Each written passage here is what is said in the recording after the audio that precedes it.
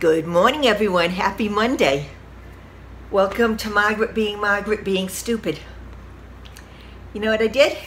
Got up super early this morning, emptied the bathroom of everything. You can actually hear an echo in it, and uh, waited for the contractors. And waited for the contractors. and waited for the contractors. Yeah, I finally reached out to them. They're starting next Monday. I have crap all over the kitchen from the bathroom. The only thing I didn't do, I didn't take down the shower curtain, so I don't have to put that back up. So everything else has to get put back. It's to be a beautiful day.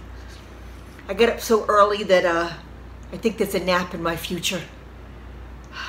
You know, I just don't ask enough questions. I've got bathroom. I've got bathroom.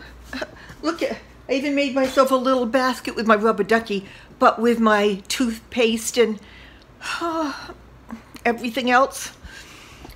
The um, cat litter went into the bedroom because I figured I'm going to have to lock the cats in there for the week or two so that can come back.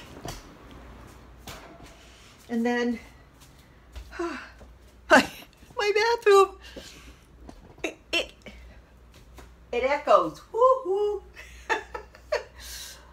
the good news is, you know, I like things sparse. Yeah, sparse I got.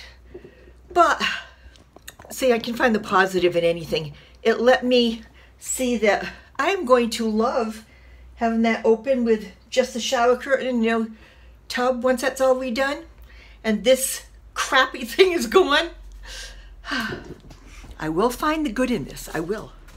Actually, there's a lot of good in this. I have a busy week and I was dreading, you know, having to be up and out so early and because I'm going to be away for a couple days and the cat, and having no shower. My sister Bernie um, reminded me she has an outside shower at her pool, which has hot and cold water. So I'll be running down to her outside shower next week.